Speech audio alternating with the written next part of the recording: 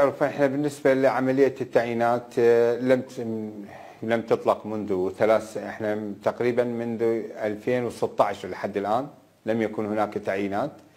آه، في حالة إطلاق التعيينات نحن آه، وجدنا لجنة مركزية بعيدا عن التحزب وبعيدا عن جميع التدخلات الأخرى.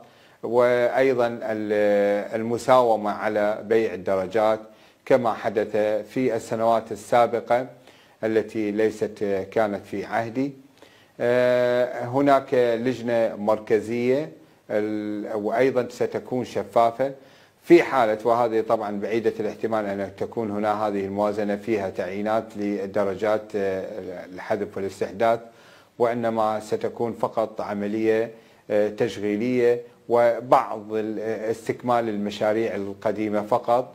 آه، إحنا قاعد نتجه إلى اتجاه آخر توفير فرص عمل آخر بالتعاون مع القطاع الخاص وأيضا فتح آه، فرص استثمارية قاعد نعمل على آه، إجرائها خلال فترة إن شاء الله القادمة في محافظة الديوانية.